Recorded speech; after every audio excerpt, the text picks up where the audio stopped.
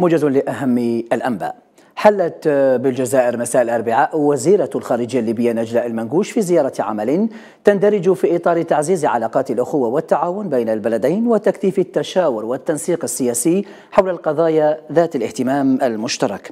وبحسب بيان للخارجية الجزائرية فقد أجرى رئيس الدبلوماسية الجزائرية أحمد عطاف محادثات ثنائية على انفراد مع نظيرته الليبية. ومن المنتظر أن يعقد الطرفان جلسة عمل موسعة اليوم بمشاركة وفدي البلدين بحسب البيان.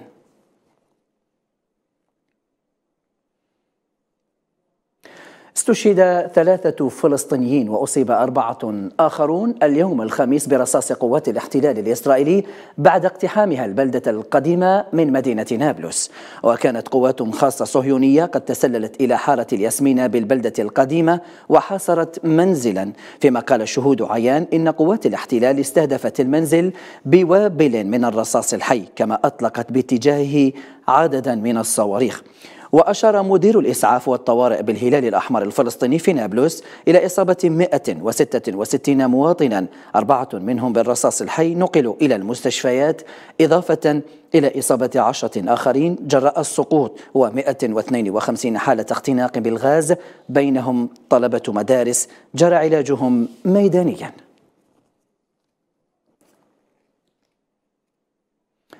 في السودان دوت اليوم أصوات قتال عنيف وسط الخرطوم بين الجيش السوداني وقوات الدعم السريع حيث يسعى الطرفان إلى السيطرة على المناطق المحيطة بالقصر الرئاسي ومقر قيادة الجيش.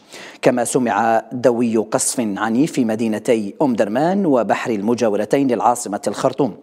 الأمم المتحدة من جانبها ضغطت على طرفي الصراع أمس الأربعاء لتأمين ممر آمن لتوصيل المساعدات الإنسانية. فيما قال وكيل الأمين العام للأمم المتحدة للشؤون الإنسانية ومنسق الإغاثة في حالات الطوارئ مارتن جريفيث إنه يأمل في الاجتماع وجها لوجه مع طرفي الصراع في غضون يومين أو ثلاثة أيام للحصول على ضمانات منهما لتتمكن قوافل المساعدات من توصيل الإمدادات الإنسانية.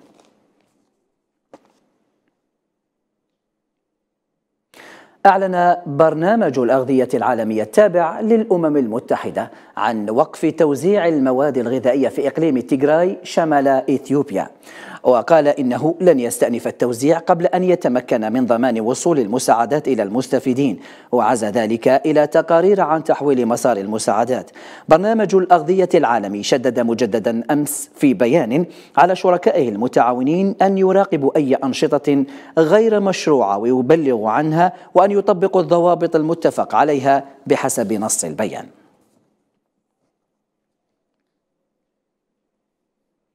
وصل الرئيس الأوكراني فولوديمير زيلينسكي الخميس إلى مقر المحكمة الجنائية الدولية في لاهاي وسط إجراءات أمنية مشددة.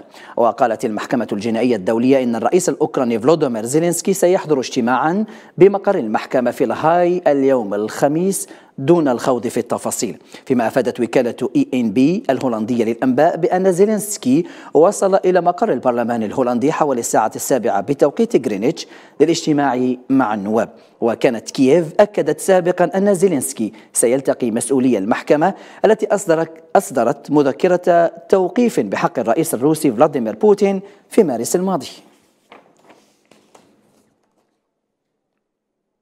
قالت وزارة الخارجية الصينية الخميس إن ما أسمتها اليقظة العالية ضرورية في مواجهة توسع الناتو باتجاه الشرق بعد تقرير إعلامي أشار إن إلى أن الحلف يخطط لإنشاء مكتب في اليابان لتسهيل المشاورات مع الحلفاء في المنطقة.